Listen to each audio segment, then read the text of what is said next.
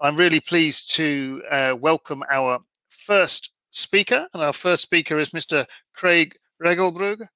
He's a Senior Vice President for Advocacy and Research of AmericanHort, our member in the USA. He's, and uh, he, he leads the staff team responsible for public policy, industry advocacy and research programs. AmericanHort is the national trade organization representing the horticulture industry, encompassing plant breeders and growers, garden retail and landscape businesses, and product and service suppliers to an industry that has a total economic output approaching $350 billion. Uh, so I'm very pleased to welcome Craig and we'll pass over to his presentation now. Hello, everyone. I'm Craig Regelbrugge, Senior Vice President for Advocacy and Research with AmericanHort, and very, very pleased to be with you. And thank you to AIPH for this opportunity. Um, what I'm going to do today is just give a really brief overview of uh, uh, some of the innovations in plant health certification that are going on in the United States. And I'm going to share a few slides in order to do that. Um, and then I'll look forward to answering any questions or engaging in discussion when we are face to face. I also want to give photo credits today to a couple of uh, dear friends of ours in the industry. One, Mike Klopmeyer with Ball Horticultural Company in West Chicago. The other, Chris Schlegel, who is head grower at DS Cole Growers in um, New Hampshire. So without further ado, my information, if you need it, is right there and we'll move into um, uh, a little bit of an overview first of the situation in the United States. Um, plant health and the regulation, uh, phytosanitary regulation, are kind of a complicated situation in the United States. We have a federal role. Uh, our National Plant Protection Organization is the United States Department of Ag, Animal and Plant Health Inspection Service. Um, and APHIS oversees plant import and export. They oversee the regulations governing plant imports and exports. And then they also regulate some high consequence pests as quarantine pests or noxious weeds uh, in interstate commerce. But we also have a very, very prominent role for our 50 states plus uh, Puerto Rico.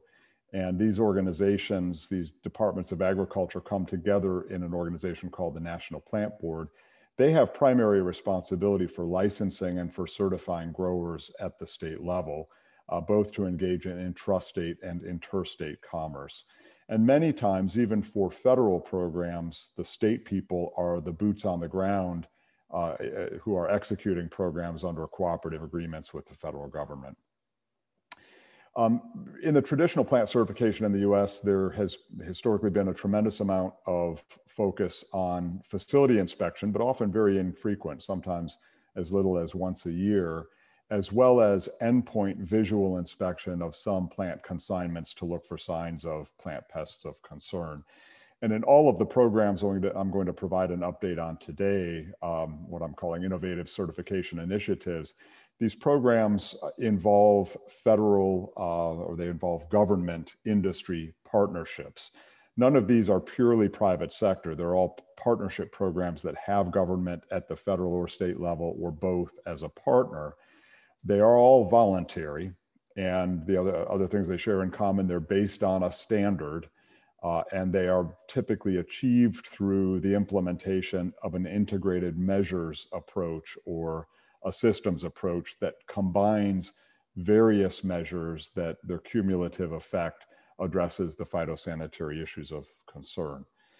I'm going to talk briefly about three programs today. The first is the, is the Offshore Greenhouse Certification Program, which covers unrooted cuttings that are being imported to the United States. The second is a cross-border program we enjoy with Canada called the US-Canada Greenhouse Grown Plant Certification Program, or GCP, and then the final one is a domestic program uh, that, that uh, is relevant for uh, nurseries and greenhouses shipping plants between or among states. Uh, and it's called the Systems Approach for Nursery Certification or SANC program. Uh, on the OGCP, as I'm going to call it from here on out, um, the current state of affairs, there are about uh, 2 billion unrooted cuttings, mostly herbaceous plants, lots of annuals, some perennials, that are imported into the United States each year. Um, they are generally viewed as being lower risk, which is part of the reason why the federal partner, um, USDA APHIS, was, was willing uh, to, to take a special look at this aspect of trade. Unrooted cuttings are obviously very highly perishable, and the trade in the cuttings is obviously highly seasonal as we ramp up for our big spring peak seasons. Um, to participate or to be eligible in the program, uh, the plants involved have to be considered generally admissible. Uh, they can't be subject to additional phytosanitary requirements. An example of a, of a plant taxon that does not qualify is Pelargonium because we have heightened restrictions for Ralstonia solanacearum race 3 biovar 2 on Pelargonium. So they have to be generally admissible. Uh, this program was piloted by four uh, companies in the industry that are producing offshore unrooted cuttings in six Latin American countries. I'll, I'll, I'll, touch on the current status in a few moments. Um, with a North American centric view, this is where the action happens. A number of companies are producing, as I say, in six countries, including Mexico and um, Guatemala, Costa Rica, El Salvador, Nicaragua, uh, Colombia, so on down into, into Latin America and into, all the way into South America. I also list on the left here um, a, a, number of uh, other locations that are exporting plants to the United States, mostly Africa, uh, but, but a little bit uh, other places as well. And these plants all arrive, or unrooted cuttings all arrive at ports of entry. I've, this map shows some of the most prominent ones for this aspect of the trade, um, particularly Miami and Atlanta. And, and um, to some degree, there are other plant inspection stations or ports involved where USDA maintains plant inspection stations. Border crossings with Mexico, there is truck traffic bringing um, uh, unrooted cuttings in from, from Mexico. Otherwise, it's mostly air shipments. This is uh, this chart's uh, some years old, but the basic pattern of commerce is still roughly the same. Uh, it shows how many plant units are inspected by USDA on a monthly basis, and as you'll see, November, things really begin to ramp up. December, January is the peak of the shipping season, and then things tail off a little bit in um, in um, uh, by by the time we get to March. This is obviously related to the fact that the, the, the greenhouses are ramping up for peak production with eye toward the spring season in their markets.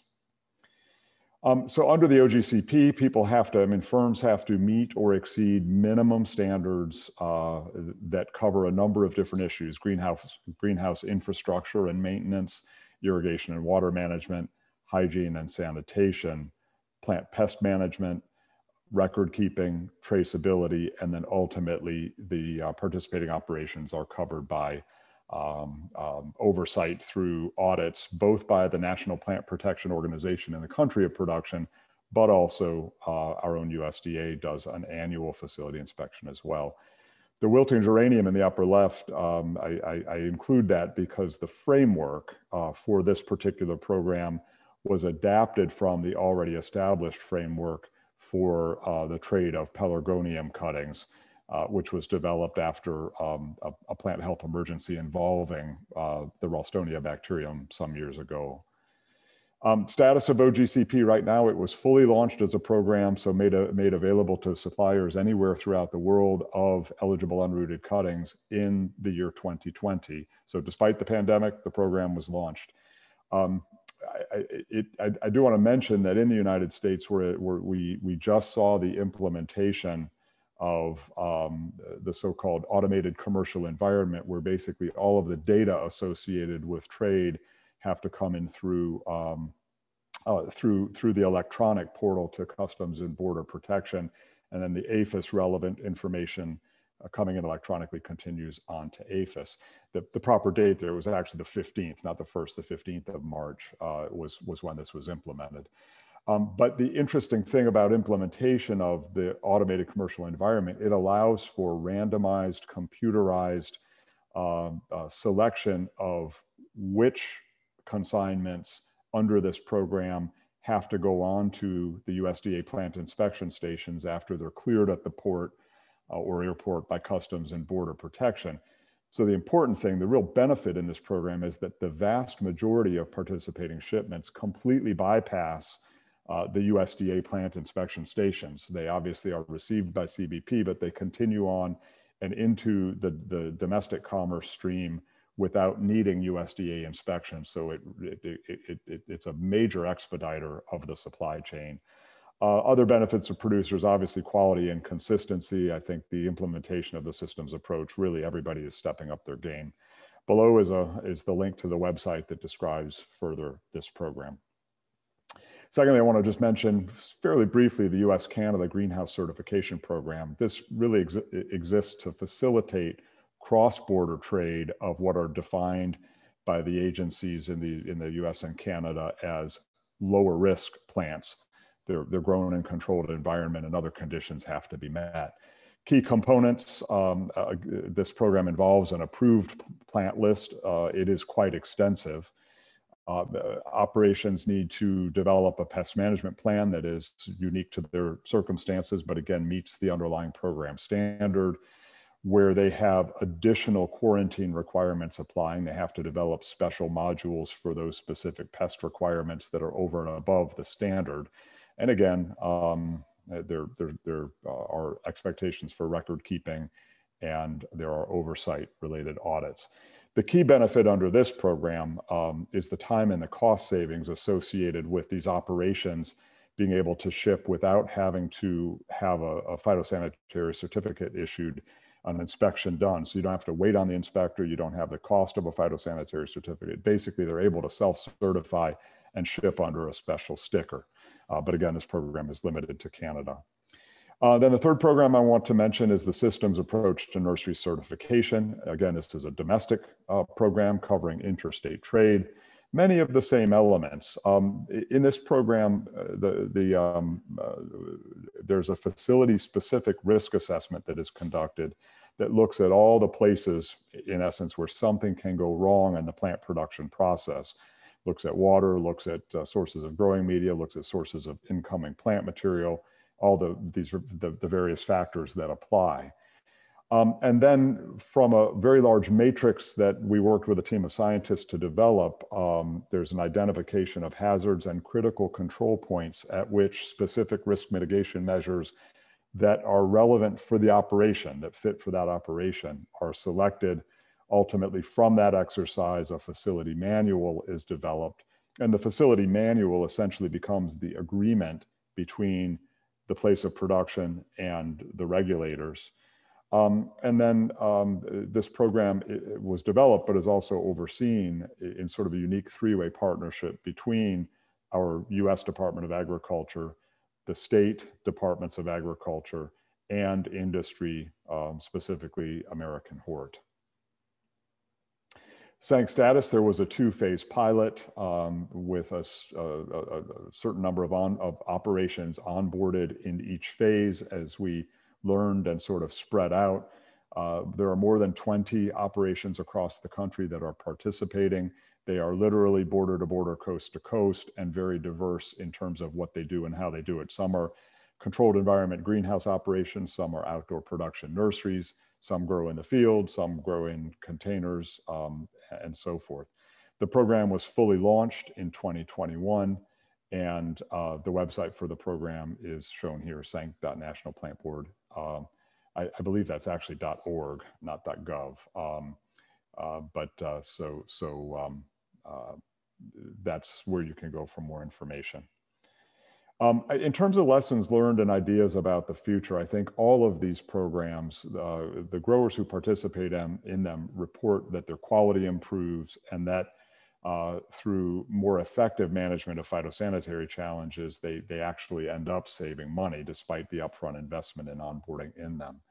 They also report, and, and this is I think quite important, they, they, they report sort of a culture transformation um, that um, that happens because instead of plant health and um, the phytosanitary responsibilities being uh, something in one person's or a few people's job description, it's everybody in the company, the entire management team, and really everybody in the company becomes involved in uh, matters relating to plant health. And so this this broader cultural transformation makes plant health everybody's business, which again reinforces uh, the the quality piece.